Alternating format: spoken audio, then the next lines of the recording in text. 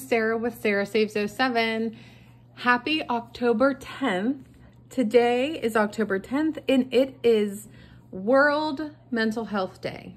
If you are new here or if you um, don't listen to my videos, I'm an advocate for mental health and for a lot of reasons, my own mental health, my family's mental health, the things I've seen with my friends and family. Um, mental health is giant priority in my life for many reasons, but specifically today is World Mental Health Day. I did some research on, you know, what makes what makes it World Mental Health Day, and I went to the WHO's website, World Health Organization's website, and this year's theme for the World Mental Health Day is mental health at work. And before I jump into all of the statistics and everything that I got from their website, I want to point out that last night Hurricane Milton hit the Florida coast, hit Florida in general, crossed over Florida. Um, last week, Hurricane Helene hit uh, essentially North Carolina. Um, what a toll on your mental health would that be? What a toll on losing everything like they did in North Carolina. What a toll it would take to lose your home, to lose your car, to lose the people you love. So I, I, bring that up not to be Debbie Downer, but to remind everyone that mental health doesn't necessarily just mean the chronic illnesses either. So I, I deal with anxiety and depression. Many people deal with, you know, bipolar and um, a lot of different mental health issues, schizophrenia, all of those things.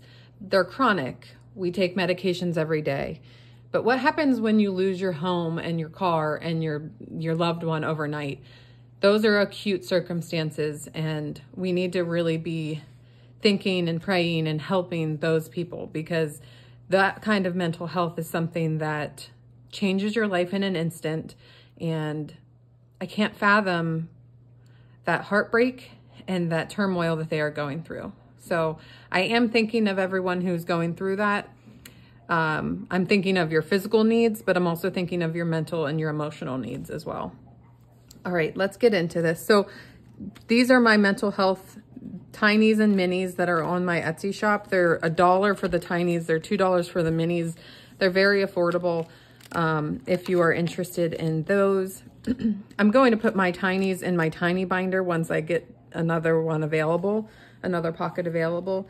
But this is my Break the Stigma binder. I play this about once a month or so. This is available in my Etsy shop as well. And I have a bunch, I think nine different challenges in here, and I'm doing pretty good in here. I do use prop money for this binder because I don't use it so often. So I am going to be adding $75 to this binder today, and it probably will do um, a lot for this binder. $75 will do a lot for this binder. And that's okay because I have a lot more challenges in mind that I need to just get the time to be creative enough to create the actual challenges. Just haven't had time to do that. Uh, but I look forward to being able to make a new binder, a new mental health binder. So let's get into it. Um, today is World Mental Health Day. It is mental health at work is what it is about. 60% of the population in our country works, which I actually kind of thought it would be higher than that, to tell you the truth. But actually, I'm just going to keep track of this on a calculator if I can remember while I'm talking. 60% um, of the population works. That's a lot, but um, it's also, well, I don't know. That's a lot. 60% is a lot of people who work.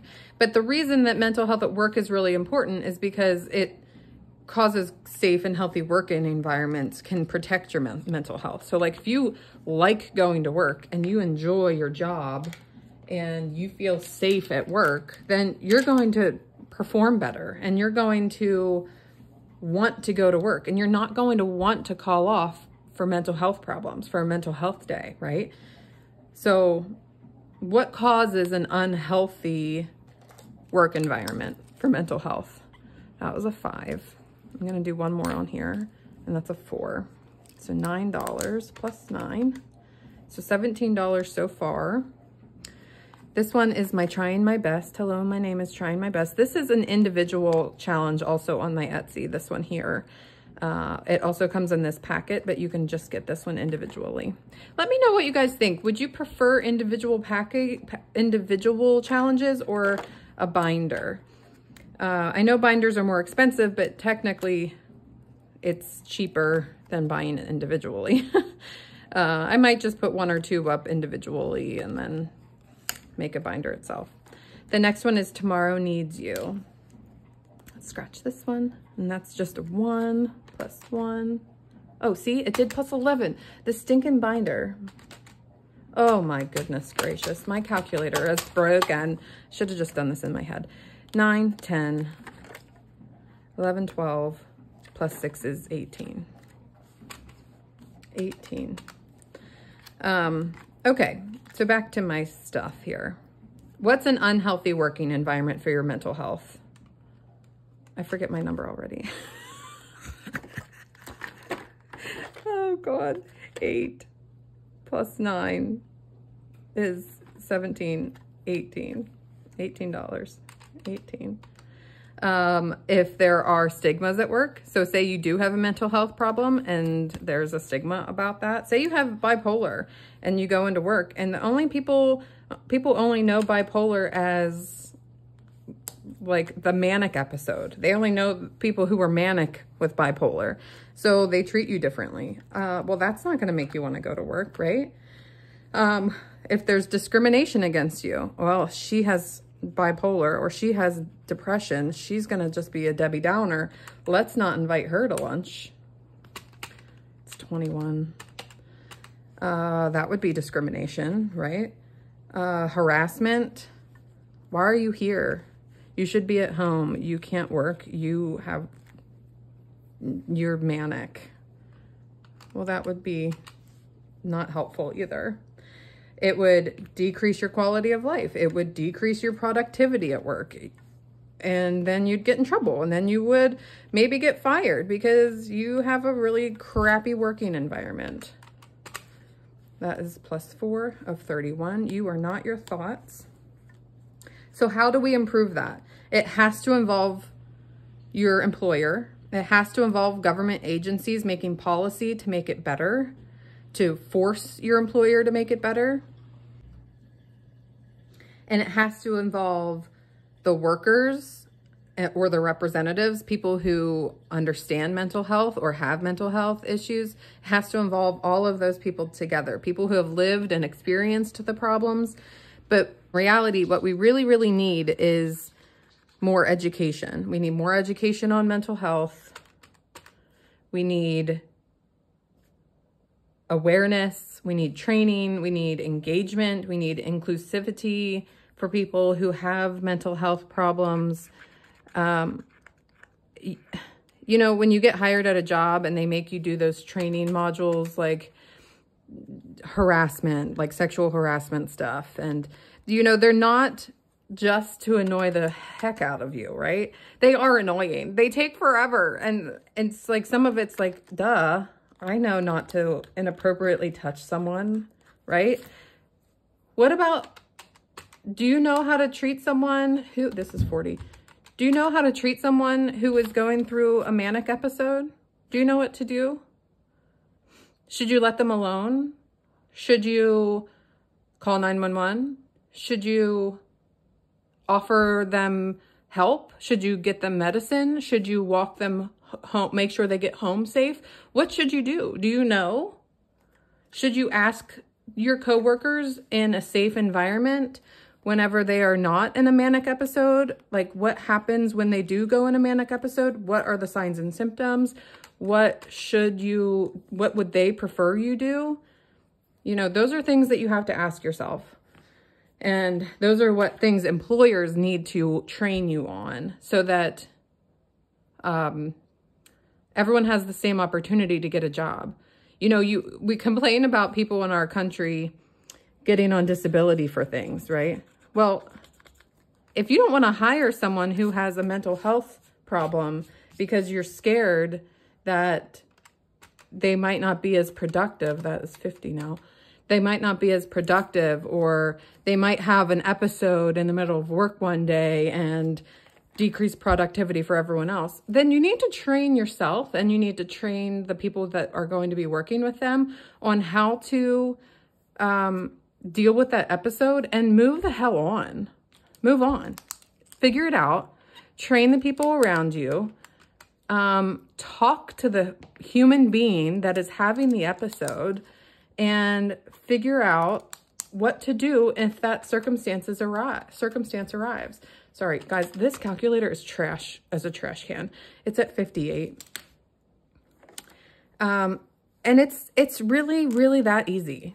It's really about being good humans, not always thinking about the bottom line, which is what we do. We always think about the bottom line. And I understand that businesses do need to do that.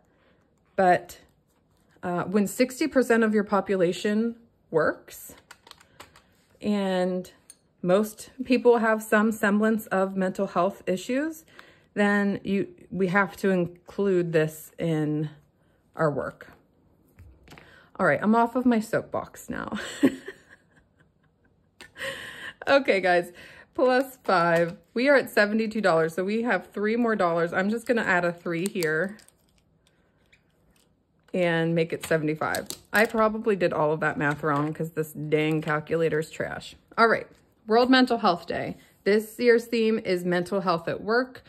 Things we need to do. We need to include we need to include our employers, our government, and those who have lived and experienced uh, mental health and their themselves and their representatives to create policy within our working environments to create safe and non-discriminatory working environments for people to work in.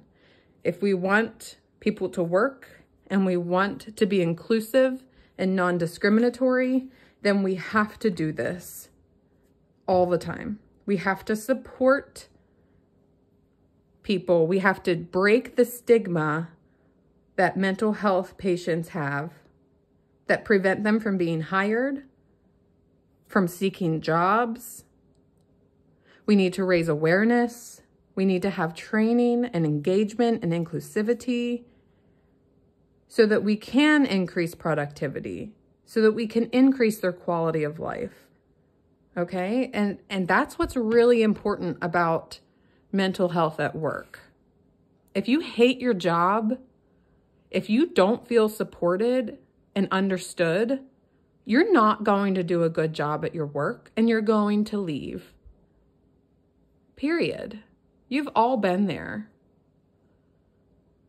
And if you stay, you're not going to love it. And you're going your mental health is going to suffer because of it.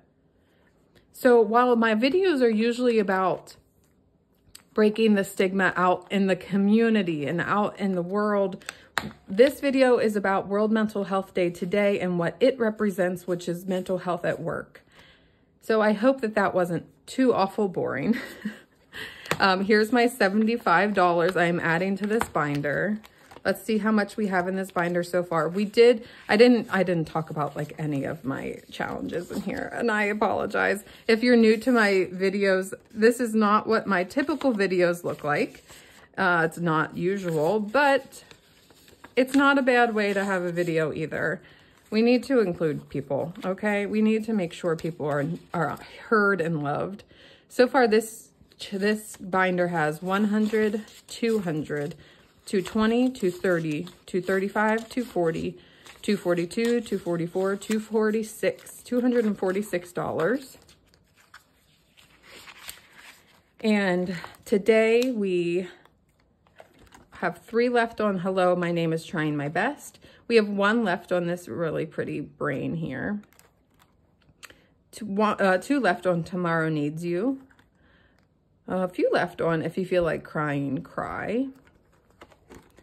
Three left on You Are Not Your Thoughts. A few left on Prove Them Wrong.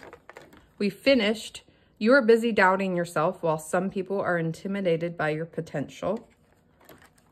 We have two more on healing is not linear. And we finished this one. We did self-love today. All right, guys. I do have one more thing if you'll stick around.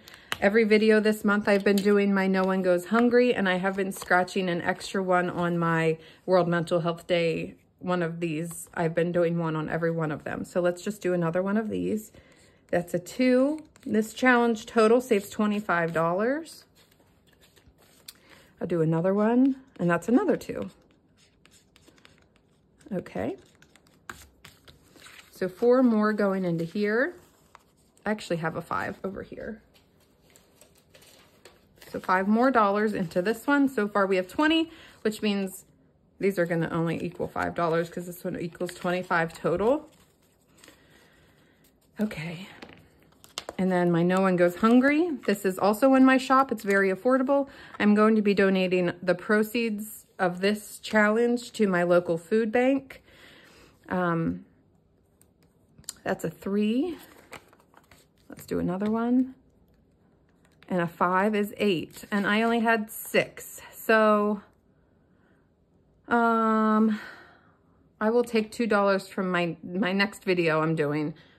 I am going to take $2 from that to make it right. So far then we have, this one saves 40, 10, 20, 25, 26, 27, 28, 29, 30, oops, 35, 36, 37, 38. Oh, so this is only a two. Okay. Well, my next video, I will make this one right.